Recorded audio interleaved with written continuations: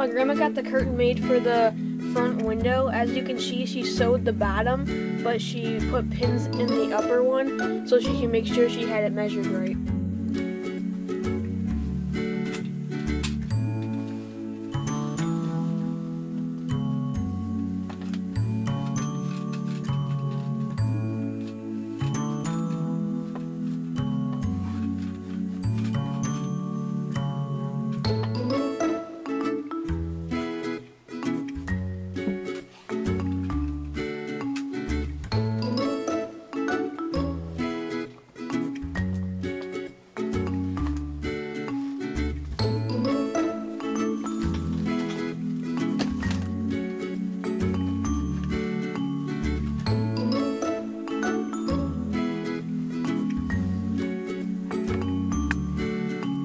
Looks like it fits.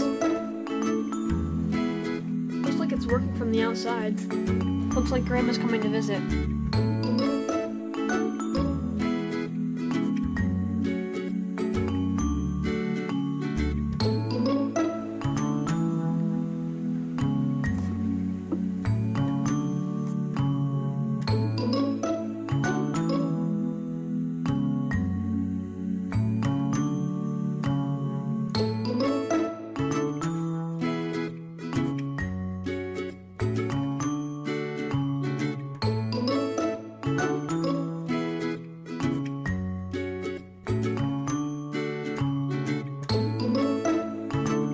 Visit and she helped me figure out my curtain situation. She's the one sewing them and we um, made sure that all her cuts and measurements were all correct.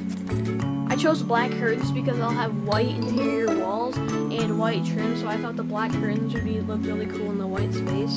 Thank you guys all for watching and stay tuned for tomorrow's video. Tomorrow we will be installing the paneling on this wall and this wall and we'll have lots of curtains done in this past week. This is the first bird I've seen on it so far.